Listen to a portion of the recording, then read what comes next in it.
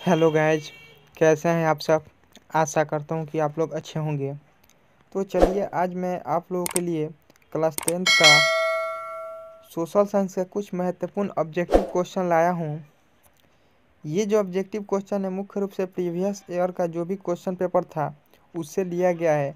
तो इसलिए आप लोग इसे मिस ना करें। पूरे अंत तक वीडियो को ज़रूर देखें।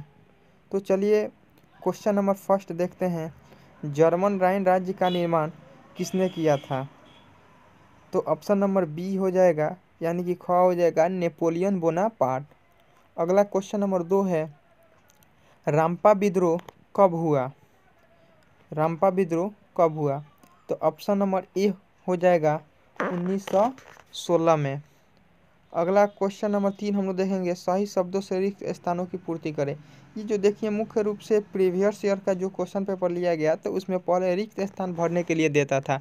तो इसका मतलब ये है कि इस साल तो अब रिक्त स्थान भरने को नहीं देगा, लेकिन अब इसमें इस तरीके से दे सकता है, रूसी क्रांति के समय डह डह शासक था और चार गो इसमें ऑप्शन दे देगा, जो कि पहले क्वेश्चन पेपर था इसमें, नहीं देता था। तो चलिए इसका आंसर हम लोग जान लेते हैं। रूसी क्रांति के समय डह डह शासक डह डह था। यानी कि रूस के क्रांति के समय रूस का शासक कौन था? तो रूस के क्रांति के समय रूस का शासक जो था, जार निकोलस द्वितीय था। अगला क्वेश्चन नंबर है, चौथा। बाल गंगाधर तिलक और डैश ने होम रूल आंदोलन की शुरुआत की थी। यानी कि क्वेश्चन पूछ रहा है, बाल गंगाधर तिलक और किस, कौन एक व्यक्ति था? जिन्होंने मिलकर इन दोनों लोगों ने होम रूल आंदोलन की शुरुआत की थी। तो जो एनी बेसेंट थे उन्होंने मिलकर और ये बाल गंगाधर तिलक, इन दोनों ने मिलकर होम रूल आंदोलन की शुरुआत 1916 में किया था। तो यहाँ आंसर हो जाएगा एनी बेसेंट चलिए अगला क्वेश्चन देखते हैं। कांवड़ झील किस जिला में स्थित है? तो ऑप्शन नंबर ग हो जाएगा बेगूसराय। कांवड़ झील जो है, बिहार के बेगूसराय जिला में स्थित है। अगला है, बृहद क्षेत्र में जल की उपस्थिति के कारण ही पृथ्वी को कहते हैं। तो ऑप्शन नंबर ख हो जाएगा, नीला ग्रह। अगला क्वेश्चन अब देखिए इसमें सीरियल नंबर जो है आगे पीछे है तो इससे कोई खास मतलब नहीं है, क्योंकि ये अलग अलग मोड, अलग अलग क्वेश्चन पेपर से लिया गया है। कोई 2016 से 17 से ऐसे करके लिया गया है, जो इम्पोर्टेंट था उसको लिया गया है तो इसलिए सीरियल नंबर आगे पीछे हुआ है। चलिए अगला क्वेश्चन देखते हैं।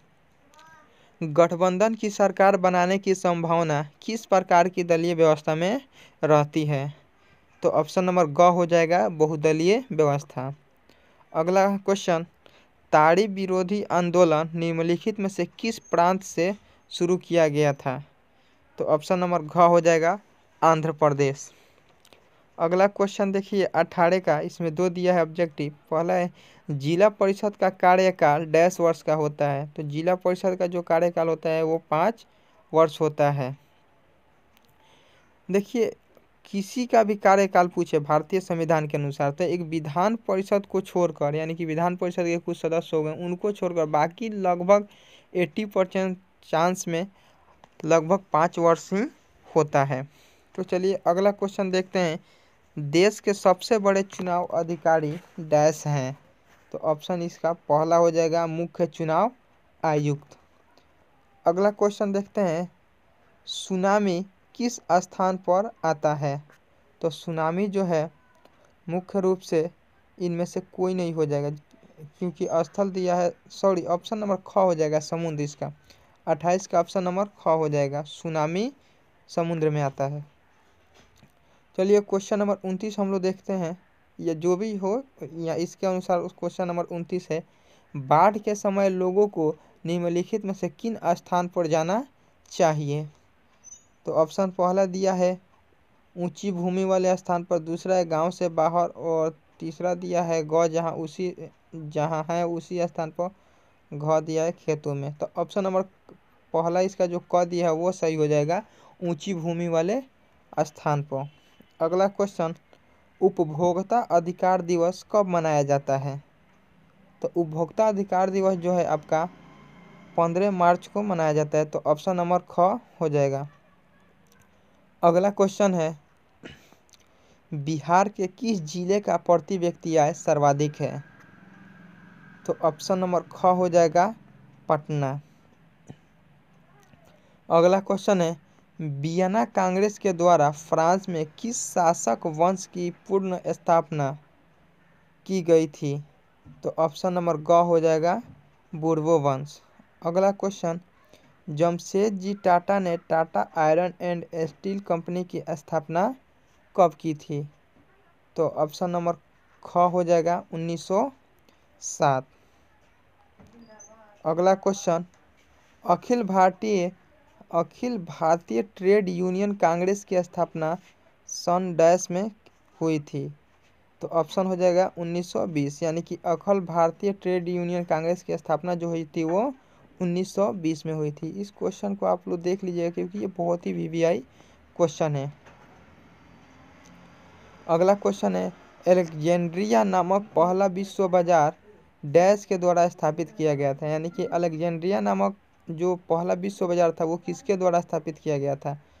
तो ये इसका जो आंसर होगा, सिकंदर होगा, यानी कि सिकंदर के द्वारा स्थापित किया गया था। और कहीं कहीं सिकंदर का नाम जो है, एलेक्जेंडर भी आता है तो इसको आप लोग देख लीजिएगा। या तो एलेक्जेंडर या नहीं तो सिकंदर। उसी का, सिकंदर का पुराना नाम था एलेक्जेंडर।